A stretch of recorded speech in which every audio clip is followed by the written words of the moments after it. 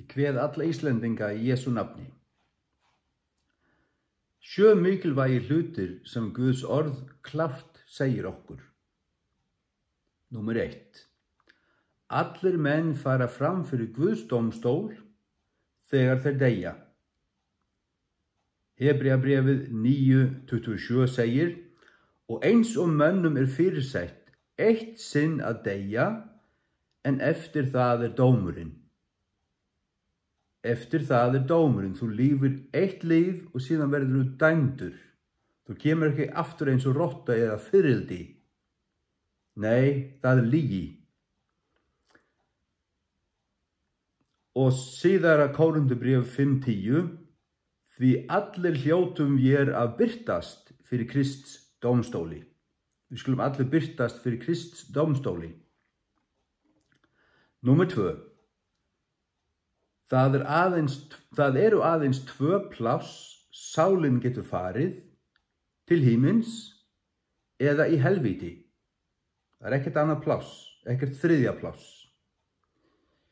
Lúkas 16, 22-23 segir En svo bar við að hinn fátæki dó og var borin af englum í faðum Abrahams.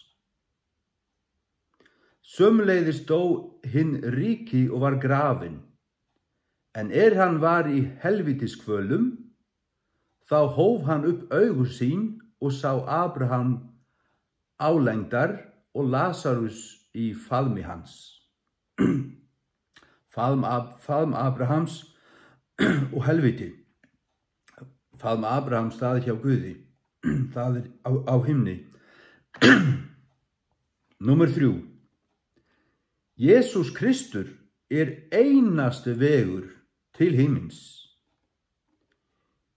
Jóhannes 14.6 Jésús ansaði honum, ég em vegurinn og sannleikurinn og lífið. Engin kemur til föðursins nema fyrir mig. Engin. Það er engin. Engin buddhisti, engin New Ageari, engin Mohammedis maður, engin. Það er bara einn vegur til Guðs, það er Jésús Kristur. Guð gaf són sinn og, og það er einn. Engin annar. Númer fjögur. Allir hafa syndgað, líka þú. Rómverjabrjöfið 3.23 segir því að allir hafa syndgað og hafa skort á lofstýr hjá Guði. Hafa skort á lofstýr. King James biblían segir come short of the glory. Við náðum ekki til. Við erum ekki nógu góð. Við erum ekki heilug. Við erum ekki fullkomnir. Allir hafa syndgað það er allir hafa brotið Guðs bóðorð tíu. Allir hafa logið, allir hafa tilbeðið eitthvað annað nema Guð, hinn sanna Guð. Allir hafa eh, ekki virt föður og móður og svo framvegis eins og bóðorðin tíu eru. Númer 5. Guð elskar alla, líka þig. Því uh, Jóhannes 3.16 segir, því svo elskaði Guð heiminn. Hann elskaði heiminn, það er allir menn í heiminum um allan tíma. Því svo elskaði Guð heiminn að hann gaf són sinn eingetinn til þess að hver sem á hann trúir ekki tapist eða glatist, heldur hafi eilíft líf. Ekki glatist, glatist, það er helviti, heldur hafi eilíft líf, það er í himni. Sérðu, þessi tveir staður, þeir sjást allstaðar í Guðs orði. Númer 6. Jésús er búinn að fullgera hjálpræðisverkið, það er það sem hann gerði á krossunum, En það innibir líka allt líf hans og hver hann er, hver hann er. Hann er verulega sonur Guðs, hann er Guð komin í holdi. og hann lifði synd, syndafrýtt líf og var þess vegna uh, syndlaus og hann fórnaði sjálfum sér sem syndafórn fyrir okkur alla á krossinum. Og Guðs orð segir í Gamla testamenti að bölvaður er sá sem hangir á tré og hann var hengdur upp á tré, hann var gerður að synd okkar vegna. Okkar synd var lögð á hann, en hann var syndlaus. En hann varði ekki syndugur, nei, hann var alveg hreitn, en hann tók syndina, hann bar hana. Hann tók dómin eins og hann væri sekur, en það var okkar synd sem hann lögði á hann. Þess vegna er hann okkar frelsari. Jésús er búinn að fullgera hjálpræðisverkið, þú þart aðeins að taka á móti með trú. Og séru þegar ég skrifaði þetta þá ekki bara taka á móti því, en það er í raun og veru að taka á móti honum. Þú tekir ekki bara í móti hjálpræðinu, þú verður að hafa Jésu. Fyrsta Jóhannes bref 5.12 segir, sá sem á sónin, hann á lífið, Sá sem ekki á Guðs són, hann á ekki lífið. Það er hitt eilífa lífið. Jóhannes 19.30 segir, En er Jésús hafði til sinn tekið etikið, sagði hann, það er fullkomnað. Og hann let höfuðið nýja og gaf upp andan.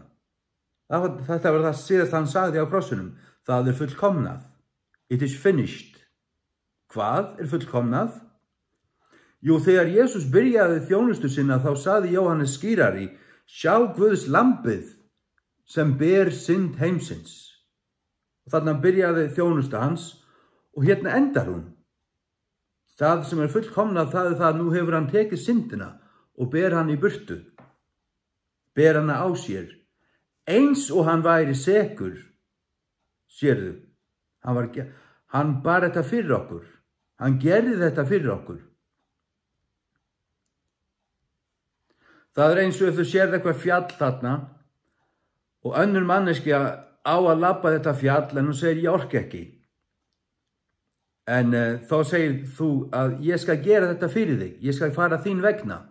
Það er eitthvað sem þarf að ná eða eitthvað að gera þarna uppi og þú ferð hinnar mannesku vegna og gerir þetta og kemur svo aftur. Þá er hinn manneskinn laus. Þannig er þetta með Jésu. Hann gerir þetta fyrir okkur. Við vorum allir sekir og þeir sem ekki taka móti honum, þeir eru ennþá sekir. Því að þeir, þeir, ekki, þeir, þeir taka, ekki, taka ekki á móti hjálpræðinu sem er að taka móti Jésu. Efesús brefið 2.8-9 segir Því af náð eru þér hólpnir orðnir með trúni og það er ekki yður að þakka, heldur er það gjöð Guðs, ekki á verkum, svo að enginn hefur orsök að stæra sig. Það er að monta sig. Enginn okkar er nógu góður til að uh, vera nógu heilagur til að koma til Guðs af sjálfum sér. Þetta er af náð. Af náð eru þér hotnir með trúni. Af náð er hvernig Guð gefur, það er óverð, óverð skuldað, en það er með trúni að við tökum á móti. Þú verður að taka móti með trú. Það er bara að opna hendunar og opna hjartaðitt, má, má frekar segja. Og segja takk, takk Jésús, ég tek á móti. Takk að þú dóst fyrir mig, fyrir mínar syndir. Ekki fara fram hjá mér, komdu til mín. Byttu, byttu þannig. Ég bað þannig í halvt ár þegar ég var 15 ára gammal. Ég hafði, fermda, ég hafði, ég hafði búin að fermast, búin að fá biblíu frá ömmu minni sem ég lasi, ég baði faðu vorið, en ég hafði ekki frið með Guð. Ég fór í kirkju með ömmu, fór til altaris og allt þetta. Það, það frelsaði mér ekki neitt. Ég hafði ekki frið en svo fór ég á vakningasamkumu. þar sem var pretikað af fólki sem var frelsað. Og þar, kom, þar var Guðs andi og ég var kallaður og á, á bænasamkomu þá stóð ég bara upp og saði takk Jésús fyrir hjálpræðið, frelsaðu mig og það gerðist verulega. Hjartað var bara nýtt og ég fekk samfélagið Guð og uh, sektarkendin og syndin það var afnumið, horfið og ég hafði frið, frið með Guð og ég vissi í hjarta minnu að núna átti ég eilift líf, ef ég myndi deyja núna þá myndi ég fara til Guðs. Það vissi ég ekki áður. Og þetta vita allir frelsaður menn að þeir, að þeir eru Guðsbönn. Rómurja brefið 8, uh, það, 13 held ég, segir Sjálfur andin ber vittnesburð með anda okkar að við erum börn Guðs. Andin, Guðs andi, vittnar með anda okkar að þú ert Guðs barn. Þegar þú ert, ert það, veistu það ekki efast þú, þá þarfst að leita Guðs, þú þarfst að fara að byggja til Jésu og sæk, sæk, le, le, leita hans og farðu og tala við einhverja trúaða mannesku, frelsaða mannesku, ekki einhverja, einhverja svona form, formlegan hérna, kirkjugangara, nei, frelsaða mannesku. Já, það er finnast á Íslandi, það veit ég. Fleiri, fleiri, fleiri neitt, fleiri en tveir, það, það er þó, þó nokkuð margir. Já. Svo er það nummer, nummer sjö. Þú átt aðeins þessa stundu. Taktu því núna á móti Jésum Kristi sem þínum persónulega, persónulega frelsara. Taktu á móti honum. Það er, sko, þú verður að trúa orðinu, trúa biblíun, heyra fagnaðið endið að þetta er allt gert. Þú getur ekkert gert, Jésu gert það þína vegna, en þú þarfst að opna hjartaðið og taka á mót, byggja til hans, sækja hans, ákalla hann. All, hver sá sem ákallar nopn drottins mun holpun verða, segir Rómæjabrefið. En þú verður fyrst að hafa trú, þú verður að heyra fagnaðið endur fyrst. Þess vegna er, er ég að segja þér allt þetta. Og er eitthvað sem þú þarfst að fara yfir aftur, þá hlustaðu á þetta aftur og lestu versin sem ég er að, ég er að fara, fara yfir hérna og opnaðu biblíuna, biblíuna og lestu. En eins og ég segi, farðu og tala við einhverja frelsaða mannesku, hjálparaðsherinn eða KFM eða baptistanir. Það er þeir þrýr sem ég, sem ég vil fyrst og fremst mæla með. Hjálparaðsherinn, KFM eða baptistanir. Sko, kvítasunumennir, þeir eru, eru aðeins of uppteknir af öðrum hlutum. Þeir eru frelsaðir en þeir, þeir dvelja ekki við hjálpræðið eins og þeir áttu að gera. Þeim til skammar myndi ég segja. Og pretika ekki, ekki, ekki hjálpræðið nógu vel, bara að kunna það ekki held ég. Þeir þurfa að alvarlega taka sig saman í, í, í hérna, einhver staðar, andlitinu eða eitthvað, hvernig maður segir. Já. Síðara, síðara kórindu bref 6.2 Rittningin segir á hagkvæmri, á hagkvæmri tíð bænherða bænherði ég þig og á hjálpræðisins degi hjálpaði ég þér. Sjá, nú er æskilega tíð, nú er svo æskilega tíð, sjá, nú er dagur hjálpræðisins, það er í dag, það er ekki á morgun, ekki næstu viku, ekki næstu á, þú veist ekkert, þú bara í dag. Og það er mönnum uh, ætlað eitt sinna líf, þú veist, þú fær bara eitt líf og eftir það er dómurinn. Þess vegna er þetta það mikilvægasta sem þú getur hugsað um og gert. Það er að fá fríðu Guð. Og Hebrea brefið 3.15 segir fyrst sagt er í dag, ef þér heyrið raust hans, þá herðið, herðið ekki í þar hjörtu eins og hinnir gjörðu í upphlaupinu. Í dag, ef þú heyrir raust hans, það er þetta köllun anda Guðs og Jésús segir enginn getur komið til mín nema fadurinn drægi hann eða dregur hann. Fadurinn hann fyrir og kallar með anda sínum, með heilaga andanum og kallar og dregur til Jésú. Og þú kemur gegnum Jésú eða framhjá um, um Jésú eða fyrir Jésú til föðurinn. Þú kemur ekki bara til föðurinn. Ef þú ekki hefur, hefur sónin, þá hefur þú ekkert með Guð að gera. Það er engin annar vegur til Guðs nema fyrir Jésum Krist. Því að það er syndin sem ger, sem, sem ger, ger skilnað að milli okkar, að milli mannana og Guðs. Þess vegna, en, en Jésús hefur brúað þetta, þetta bíl. Svo ef, við kom, komum í gegnum hann í trún á fullgerða hjálpræðið, hjálpræðisverkið og laugumst hann í blóði hans, verulega, af sönnu og öðlumst anda hans og lífum í, í, í því, líf, erum lífandi trúandi, lífandi trúaðir. Ekki bara einhvern form, eins og bara einhver döð trúrækni.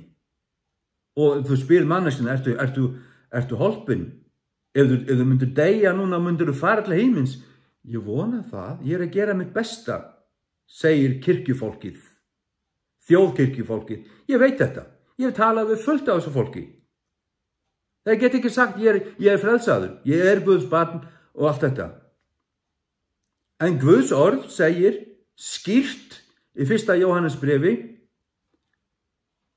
5.13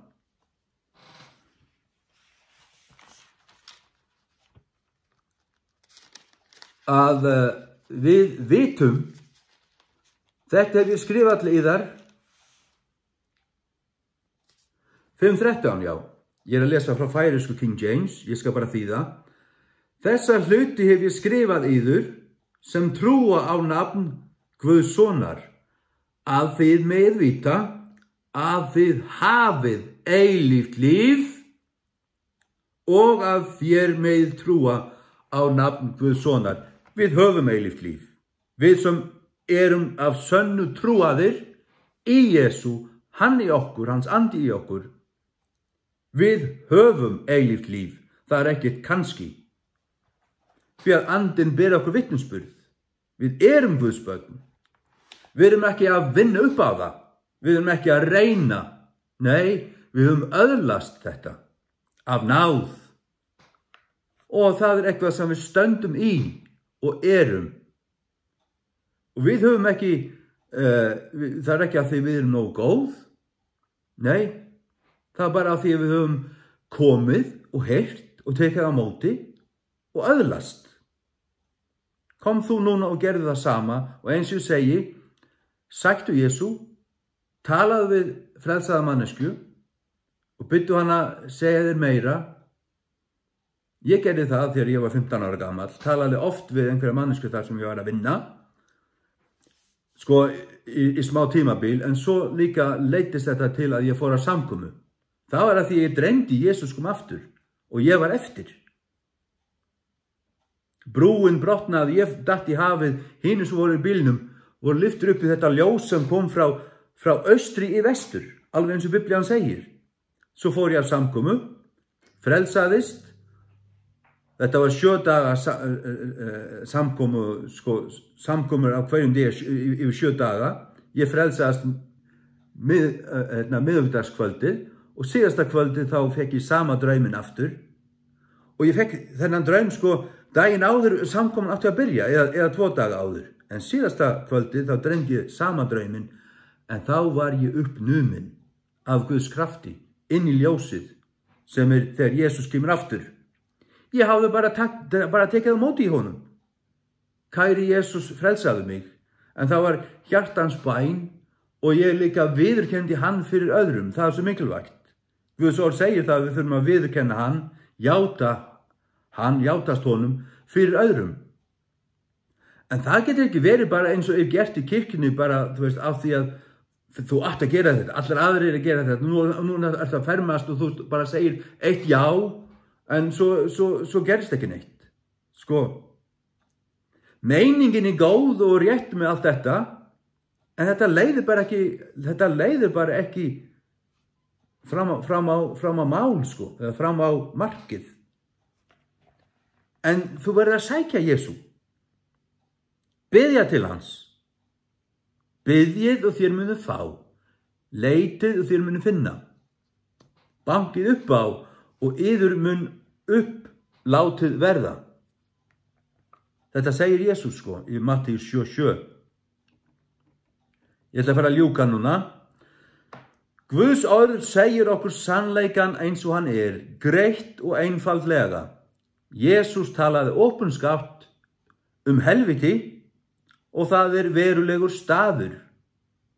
Það er fullt af vittnusburðum af fólki úti á YouTube, úti á netinu, bæði trúðum og vantrúðum sem hefur dáið en svo hefur komið aftur af því að það var eh, kannski skurðaðgerðið eitthvað og þeir ná að fá lífi í personun aftur og þau voru í helviti. Í helviti. Þú vilt ekki fara, fara, fara þangað. Þú vilt fara til heimins. Frelsun sálar þinnar er hið mikilvægasta sem er. Allra, allra mikilvægasta. Að öðlast frið með Guð er eitthvað sem ekki maður láta býða fram á síðustu stundu því að hver veit hvenar hún kemur. Afi minn, hann var trúaður Hann hérna, frelsaðist sem, sem 19 ára gammal, hann var hérna, djákn í Rítuvíkur kirkju og amma mín sagði mér frá þessu þegar, þegar ég var 14 ára gammal að hann dóð þegar ég var tveggja og hann hafði fengið krabba megin í brjóskunu í öllum beinunum og svo byrjuðu beina brotna og hann gæti ekki lappað og hann þjáðist í halvt ár með brotin bein, þú veist og var svo fluttur hérna í, á spítala í Þórsöfn og svo á spítalana í Kaup, Kaupmannahöfn og amma mín satt hjá hennum. Og hún sagði mér hvernig hann dó. Hún sagði það að hann var, mjög uh, uh, van, van, vanmáttugur en svo vaknaði hann einn morgun og sagði hann hafði dreymt eitthvað svo gott. Hann lappaði eftir, eftir svona sletti að móti ljósri borg, mikil borg, mikil ljóstatni kring. En svo orkaði hann ekki að lappa lengur af því hann hafði svo mikil verk í beinunum og hann datt nýður og láð þarna á jörðinni.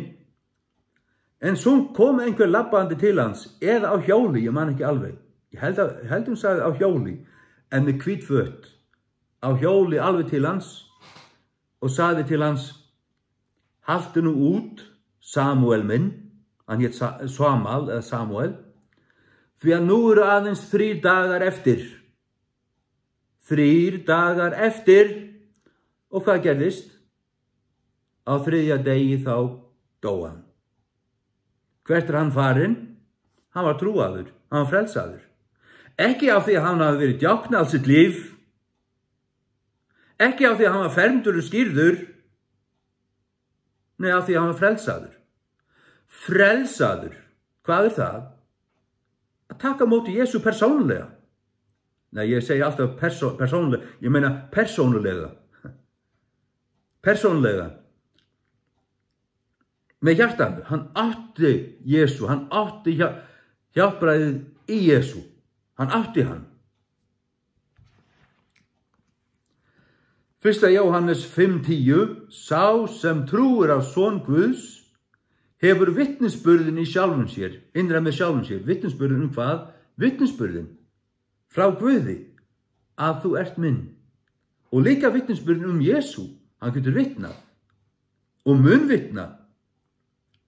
Sá sem trúur ekki Guði hefur gert hann að lígara af því hann trúur ekki frásögninni sem Guð gaf um svonsinn. Og svo vers, vers 12. Sá er hefur sónin, hefur lífið og sá er ekki hefur són Guðs, hefur ekki lífið. Þú verður að hafa són Guðs. Hafa hann. Það er mjög gott.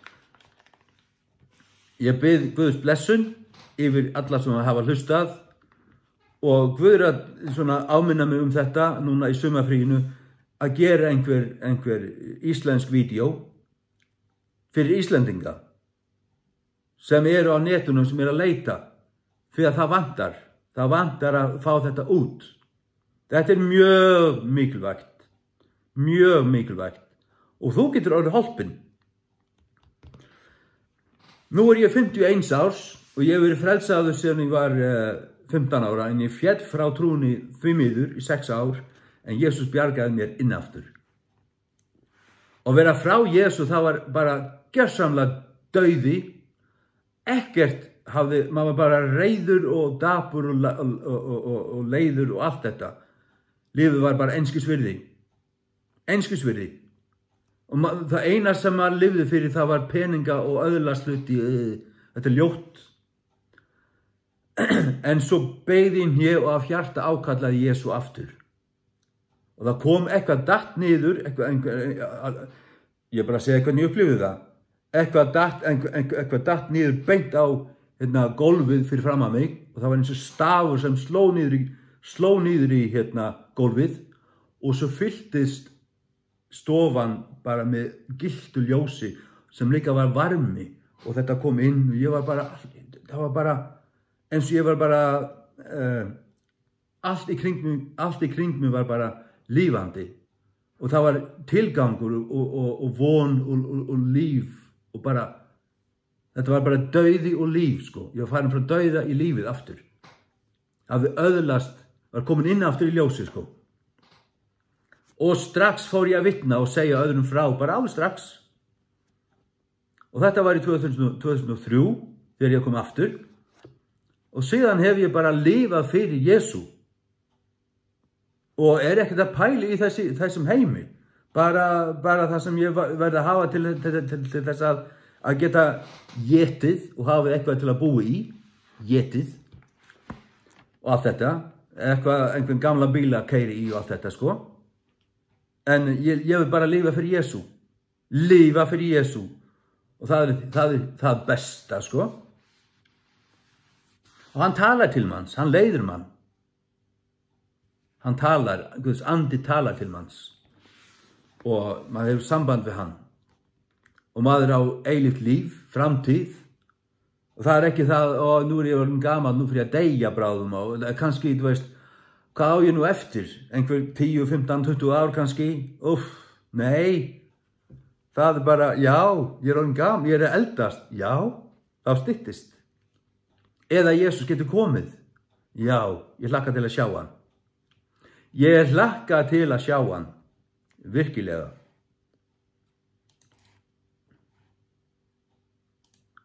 Hann mun koma sko. Ég vil lesa það fyrir að þessa, lónuku bref, fjórir, frá þrettan. Ekki vil ég bræður láta yður vera í vannþekkingu um þá burt sopnuðu. Það er þeir sem eru trúaðir sem eru sopnaðir, það er látnir og eru í jörðinni sko. Svo að þér séuð ekki hryggvir eins og þeir sem vonlausir eru. Við erum ekki hryggvir, það er að segja hryggir. Við erum ekki hryggvir eins og þeir sem vonlausir eru, við erum ekki vonlausir. Því ef við trúum því að Jésús sé dáin og uppáttur í sinn, við trúum því, þá mun Guð sömuleiðis fyrir Jésúm leiða til sín þá sem sopnaður eru. Það er allir þeir sem trúuður sem eru sopnaður, sem eru latnir. Hann mun leiða þá til, til sín. Hvernig? Uh, því það segi ég yður í drottins orðastað að vér sem eftirverðum lífs við tilkomu drottins að vér munum ekki fyrri verða en þeir burtsöfnuðu. Þetta er upprísan sko. Því sjálfur dráttun mun með ákalli, með, með höfuð engilsins, með höfuð engils raust og með Guðs lúðri af himni niðurstiga. Hann mun niðurstiga með kalli og með höfuð engils raust. Niðurstiga. Og þeir sem í Kristó eru dánir skulu fyrst rísa upp. Þeir sem eru dánir munu fyrst rísa upp þegar hann kemur. Þetta er, þetta er likamlega upprísan. En þeirra andi og sál eru þegar hjá drottni. En þeir hafa ekki upprísið. Sko við trúum á upprísu likamsins og eilíft líf. Það er hérna þúsund ára ríkið og eilífðin sem mun fylgja. Já.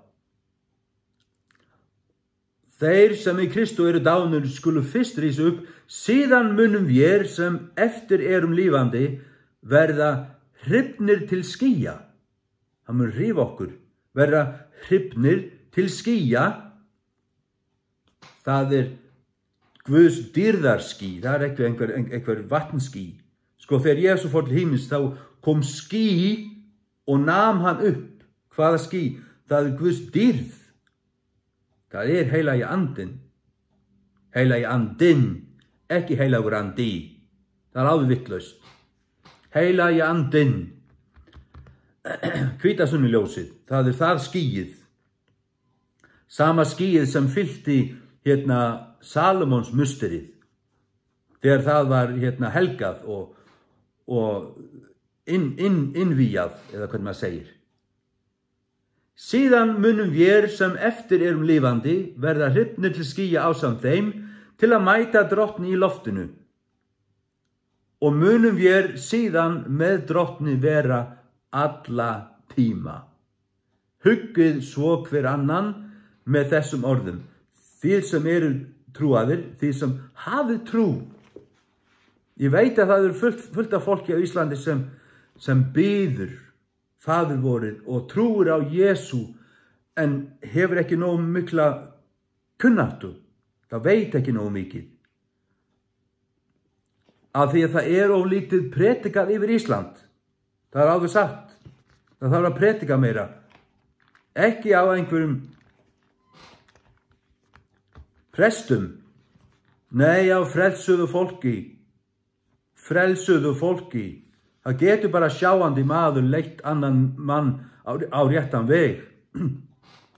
Þegar blindur leiði blindan þegar fara þeir báður í hérna ána eða veitina.